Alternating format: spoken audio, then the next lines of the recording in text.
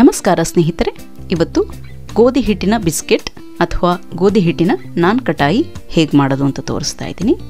ಇವತ್ತು ನಾನು ಓವನ್ ಇಲ್ಲದೇ ಹೇಗೆ ಮಾಡ್ಬೋದು ಈ ಬಿಸ್ಕೆಟ್ನ ಅಂತ ತೋರಿಸ್ತಾ ಇದ್ದೀನಿ. ಮೊದಲಿಗೆ ಯಾವ ಯಾವ ಸಾಮಗ್ರಿಗಳು ಬೇಕು ಅಂತ ನೋಡ್ಕೊಳ್ಳೋಣ. ಎರಡು ಕಪ್ನಷ್ಟು ಗೋಧಿ ಹಿಟ್ಟು, ಮುಕ್ಕಾಲು ಕಪ್ನಷ್ಟು ಸಕ್ಕರೆ, ಒಂದು ಚಿಟಿಕೆಯಷ್ಟು ಉಪ್ಪು, ಅರ್ಧ ಟೀ ಸ್ಪೂನಷ್ಟು ಅಡುಗೆ ಸೋಡಾ ಅರ್ಧ ಟೀ ಸ್ಪೂನಷ್ಟು ಏಲಕ್ಕಿ ಬೀಜಗಳು, ಮುಕ್ಕಾಲು ಕಪ್ನಷ್ಟು ತುಪ್ಪ ರೂಮ್ ಟೆಂಪ್ರೇಚರ್ನಲ್ಲಿ ಈಗ ನಾನು ಒಂದು ಮಿಕ್ಸರ್ ಜಾರಿಗೆ ಸಕ್ಕರೆಯನ್ನು ಹಾಕ್ಕೊಂಡು ಪುಡಿ ಮಾಡ್ಕೊಳ್ತೀನಿ.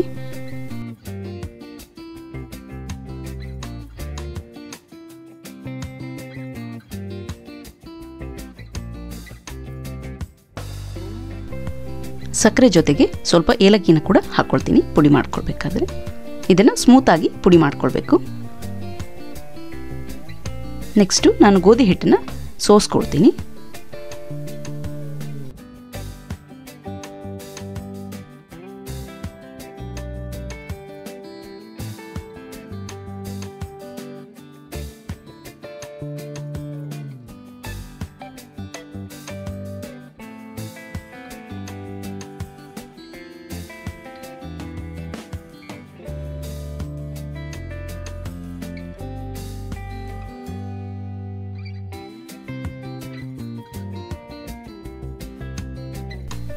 ಇದಕ್ಕೆ ನಾನು ಉಪ್ಪು ಸೇರಿಸ್ಕೊಳ್ತೀನಿ. ಅಡುಗೆ ಸೋಡಾ. ಮತ್ತು ಪುಡಿ ಮಾಡ್ಕೊಂಡಿರೋ ಸಕ್ಕರೆ ಮತ್ತು ಏಲಕ್ಕಿ ಮಿಶ್ರಣವನ್ನು ಸೇರಿಸ್ಕೊಳ್ತೀನಿ. ಇದನ್ನು ಚೆನ್ನಾಗಿ ಮಿಕ್ಸ್ ಮಾಡ್ಕೊಳ್ಬೇಕು.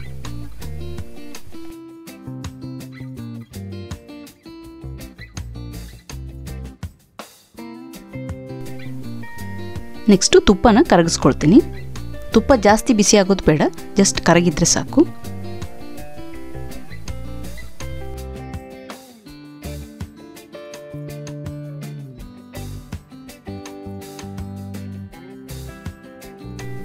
ಇಲ್ಲಿ ತುಪ್ಪ ಕರಗಿದೆ. ಈ ತುಪ್ಪವನ್ನು ನಾನು ಗೋಧಿ ಹಿಟ್ಟಿನ ಮಿಶ್ರಣಕ್ಕೆ ಸೇರಿಸ್ಕೊಳ್ತೀನಿ. ಸ್ವಲ್ಪ ಸ್ವಲ್ಪನೇ ಸೇರಿಸ್ಕೊಳ್ತೀನಿ. ಈಗ ಇದನ್ನು ಚೆನ್ನಾಗಿ ಮಿಕ್ಸ್ ಮಾಡ್ಕೊಳ್ಬೇಕು.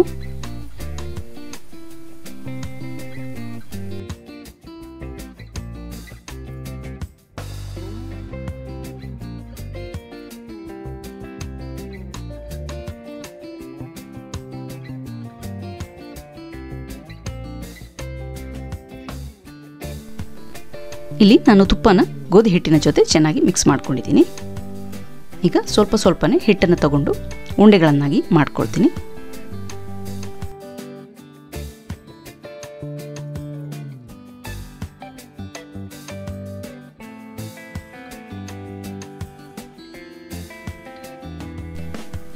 ಇದನ್ನು ಲೈಟಾಗಿ ಈ ರೀತಿ ಒತ್ಕೊಳ್ತೀನಿ.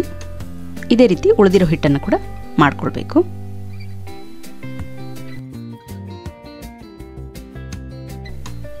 ಇಲ್ಲಿ ನಾನು ಒಂದು ಅಗಲವಾದ ಪಾತ್ರೆ ತೊಗೊಂಡಿದ್ದೀನಿ. ಪಾತ್ರೆಯ ತಳಭಾಗದಲ್ಲಿ ಈ ರೀತಿ ಉಪ್ಪು ಹರಡ್ಕೊಂಡಿದ್ದೀನಿ. ಸಾಧಾರಣ ಅರ್ಧ ಕೆ ಜಿಯಷ್ಟು ಉಪ್ಪು ಯೂಸ್ ಮಾಡ್ಕೊಂಡಿದ್ದೀನಿ. ಇದರ ಮೇಲೆ ಒಂದು ಕುಕ್ಕರ್ ರ್ಯಾಕನ್ನು ಇರಿಸ್ಕೊಂಡಿದ್ದೀನಿ. ಇಲ್ಲಾಂದರೆ ನೀವು ಯಾವುದೇ ಬೌಲನ್ನು ಸಹ ಉಪಯೋಗಿಸ್ಕೊಳ್ಬಹುದು. ಇದನ್ನು ನಾನು ಮುಚ್ಚಿಟ್ಬಿಟ್ಟು ಸಣ್ಣ ಉರಿನಲ್ಲಿ ಹತ್ತು ನಿಮಿಷ ಬಿಸಿ ಮಾಡ್ಕೊಳ್ತೀನಿ.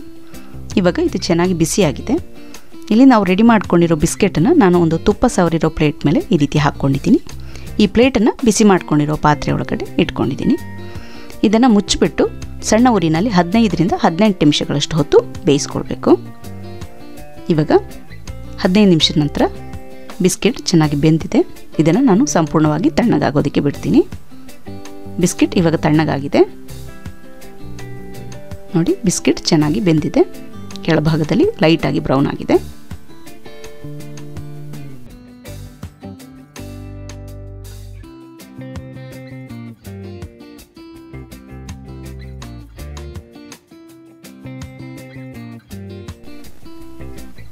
ಬಿಸ್ಕೆಟನ್ನು ನಿಮಗೆ ಇಷ್ಟವಾದ ಶೇಪಲ್ಲಿ ಡಿಸೈನಲ್ಲಿ ಮಾಡ್ಕೊಳ್ಬಹುದು.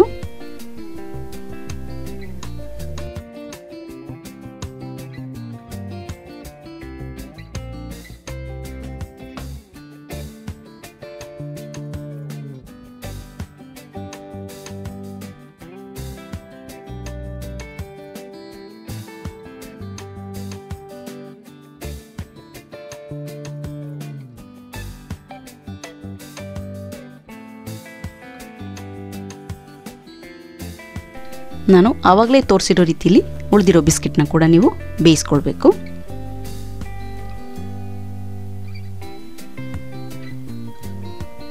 ರುಚಿಯಾದ ಗೋಧಿ ಹಿಟ್ಟಿನ ಬಿಸ್ಕೆಟ್ ರೆಡಿ ಇದೆ.